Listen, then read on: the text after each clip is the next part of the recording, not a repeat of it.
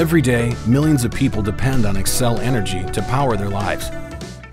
That's why we work around the clock, so you can count on us for clean, safe, and reliable energy. Providing electricity for so many people takes a serious network. Once it's produced, high voltage transmission towers bring the electricity to substations, which are responsible for tens of thousands of households.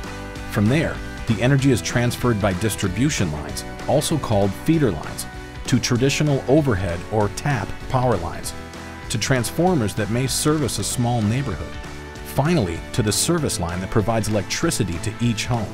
The grid connects you to the energy you depend on, so you can count on it being there when you flip a switch.